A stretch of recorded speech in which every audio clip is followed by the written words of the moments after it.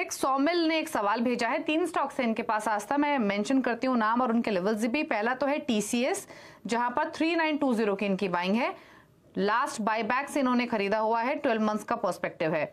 Adani power में 330 और Adani Wilmer, Wilmer में 650 तो टीसीएस उनतालीस सौ अदानी पावर 330 अदानी विल्मर 650 जी बिल्कुल टीसीएस की बात करें लॉन्ग टर्म के लिए बिल्कुल यहाँ पे होल्ड करना है। लॉन्ग टर्म के टारगेट जो हमें देखने को मिलेंगे, वो तकरीबन यहाँ पे अड़तीस सौ से चार हज़ार के रहेंगे। बने रहिए टीसीएस की अपनी पोजीशन में। स्टॉप लॉस के तौर पे ये अगर चाहे तो एक लेवल रख सकते हैं, जो कि थर्टी थ्री हंड्रेड के आसपास आता है। दूसरा सवाल रानी विल्मर में था। अदानी विल्मर की अगर हम यहाँ पे बात करें तो स्टॉक थोड़ा सा अभी मार्केट्स के हिसाब से वॉलेटाइल ही बना हुआ है बट लॉन्ग टर्म के लिए होल्ड करना है स्टॉप लॉस रखना है 360 के आसपास। इसमें जो इनिशियल टारगेट्स हमें देखने को मिलेंगे, वो तकरीबन यहाँ से सौ रुपए ऊपर है, जो कि 515 का जोन आता है, और उसके बाद आ सकता है 600 तक के भी टारगेट अदानी विल्मर में।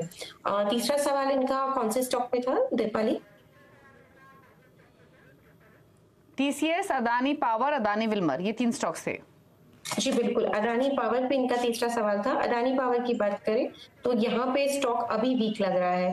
आ, बहुत ज़्यादा यहाँ पे जिस तरह से हम कॉल देख रहे हैं मुझे लगता है अभी तो थोड़ा वीक है। 140 के आसपास का एक स्टॉप लॉस लगा ले। ज़्यादा बड़ा मैं स्टॉप लॉस दे नहीं रही हूँ। लेकिन अगर तेज़ी लौटी तो ये काउंटर वापस से हमें जो लेवल्स यहाँ पे दिखा सकता है वो इनिशियली एक और उसके बाद एक सौ नब्बे के दिखा सकता है।